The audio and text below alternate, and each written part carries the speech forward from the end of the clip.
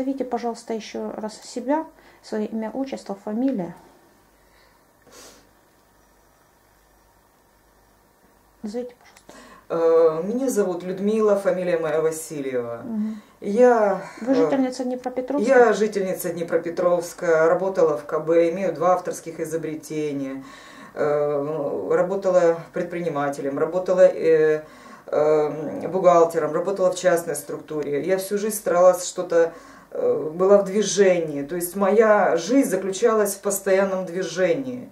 Я никогда не признавала лежачий образ жизни и э, всегда стремилась к работе, к каким-то, к чему-то новому, к чему-то познавательному. Я не могла себе позволить э, прийти и лечь и там, просто смотреть телевизор. Даже если у меня была какая-то минута какого-то времени, я всегда старалась найти себе работу и на какое-то занятие. Вот. Ну, что и послужило, конечно, даже в состоянии моей ситуации. Я вынуждена была он привести двор в порядок ценой, вот, к, к, к сожалению, своего здоровья. Вот так вот. То есть даже после первой операции, вы, когда э, легче немножко стало, вам вы решили продолжить, да, какой-то э, Трудо, труд... трудовой свой.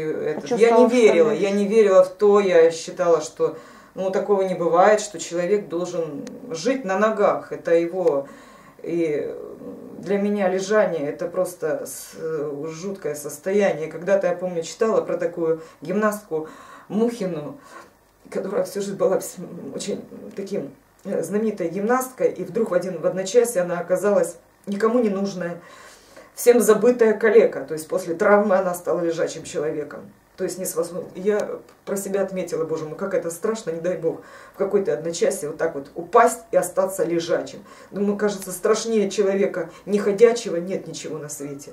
То есть даже вот, ну, те, кто в этой ситуации знает, что такое операция спина, они знают, что это, они понимают. То есть тот человек, который ходит и... Если бы я даже не испытав этой ситуацию, я бы никогда не подумала, что такое бывает. Бывают такие боли, бывает такое состояние. Я бы не могла бы это поверить, и что вот просто вот, как говорится, испытав сам, понимаешь, что такое, да, возможно. И даже невропатологи не до конца понимают этот кошмар, в каком человек ну, может оказаться в состоянии. Живу я сейчас, конечно, я не обращаю внимания на... Но иногда я украдкой вижу глаза людей, которые смотрят на меня. И с таким, я вижу, читаю в глазах этих людей, как молодая женщина, почему она не может передвигаться, что у нее такого, что человек идет с такой болью.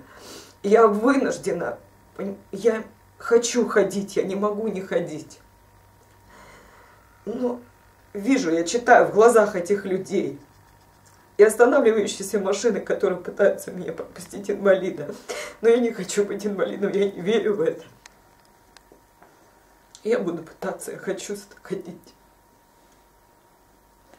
Скажите, пожалуйста, а вы живете вдвоем с мамой? Я живу, у меня еще э, инвалид мама, она первая группа, она не, не ходячая. То есть она требует ухода, внимания тоже. Вот так вот. Маме сколько лет? Маме 88 лет, то есть мама... Как зовут маму? Маму зовут Тамара Яковлевна. Тамара Яковлевна, да? Она не ходит? Вам Она при... не ходит. Как вы можете ее помочь э, ей? Это надо ее поднять? Э? Нет, она ходит э, по квартире, она а, передвигается с палочкой. Угу. Вот, но она практически все время лежит, то есть вот так угу. вот. То есть, она сильно переживает за вас? Вы знаете, конечно, она переживает. А я переживаю за то, что я не могу ей полноценно помочь. Ну, пытаюсь, конечно. Как вы можете вдвоем, э, ну, вам же все равно надо как-то помогать и маме, и себе. Как вы находите в себе силы, я не знаю, или кто-то просите кого-то помочь? Вы знаете, есть, э, к сожалению, те люди, с которыми я общалась и имеют достаточные материальные возможности, они, как всегда, вот в сложный момент оказываются вроде как в стороне, они уходят в никуда. А вот появляются те люди, на которых ты даже и не предполагал, что на них можно рассчитывать. То есть это люди среднего достатка. Вот, и они э, предлагают свою помощь. Конечно, я не могу злоупотреблять и не пытаюсь. Я просто, понимаете, настолько э, не могу лежать и ничего не делать. Я не могу. Для меня это пытка. Я, конечно, должна двигаться и ходить, но я не могу. То есть, что можно, люди помогают, но я живу в кошмаре. Моя жизнь превратилась действительно в ад. Как сказали в Ужгороде, твоя жизнь теперь превратилась в ад. Но я на эту фразу не обратила внимания, потому что я... После операции сказал? Да. Твоя жизнь теперь превратилась в ад. Это люди, которые были посторонние и видели со стороны мою ситуацию.